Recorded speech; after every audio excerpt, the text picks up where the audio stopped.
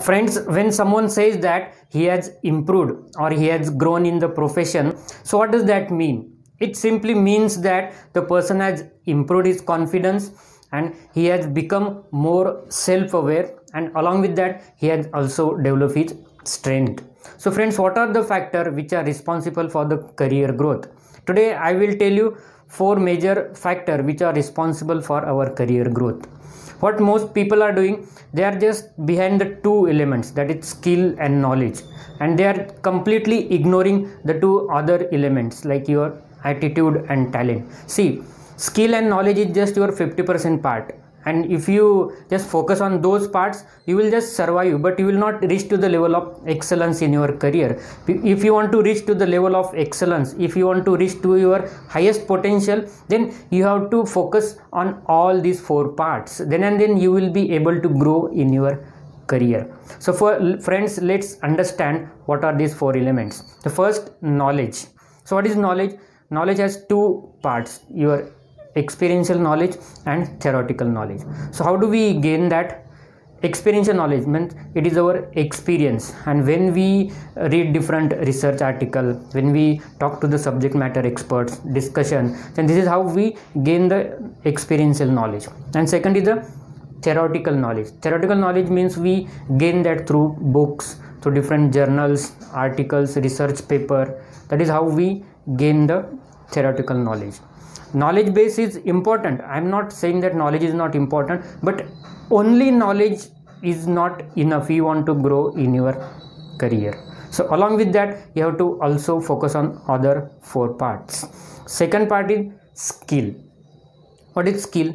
Skill is all about execution your action and the steps which are involved in particular activity. When you learn the skill so how, how can you say that we have learned a particular skill? See skill improves by practice. And when you learn the steps in that particular activity you learn that skill. For example dancing or public speaking.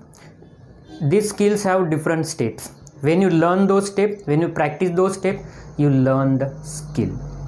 And third part is about your attitude.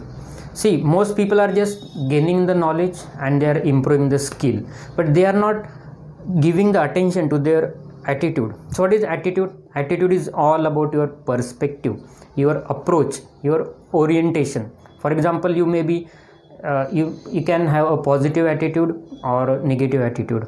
So, uh, your behavioral traits for example you you may be arrogant or you may be supportive the kind of love you show to, towards other. So all these parameters are part of the attitude. And attitude is important for your professional growth. Because it is said that the height of your success is decided by the, your attitude and not your aptitude. So friends having a good attitude is also essential. And fourth element is your talent. This is the most important. Among these four elements talent is most important. Why? Because it is all about your innate intelligence your uh, natural thought pattern and about your strongest connection of your neurons in the brain for particular activity. For example emotions your logic your interpersonal intelligence all these are the example of talent. See talent is not something big. A lot of people say that i do not have much talent or i'm not talented. See first they don't understand what is talent.